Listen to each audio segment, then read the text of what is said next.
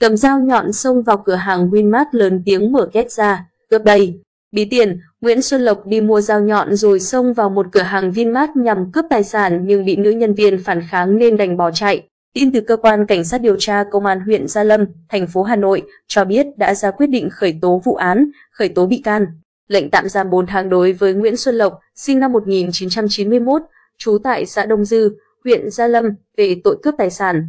Trước đó, ngày 16 tháng 10, Công an huyện Gia Lâm nhận đơn trình báo của chị P, trú tại huyện Gia Lâm, về việc trưa cùng ngày.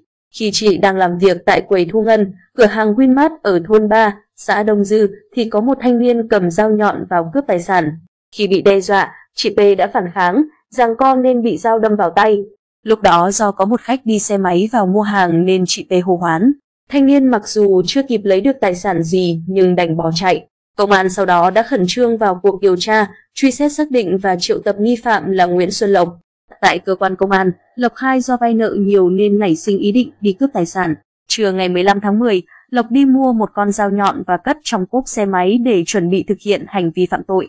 Khoảng 12 giờ ngày 16 tháng 10, Lộc điều khiển xe máy nhãn hiệu Honda Everlet màu đen, biển kiểm soát 29N1-80846 sử dụng miếng bìa giấy màu cam có dán băng dính hai mặt để dán vào biển kiểm soát, lấy con dao trong cốp xe giấu vào tay áo bên trái rồi quay lại hướng xã Đông Dư.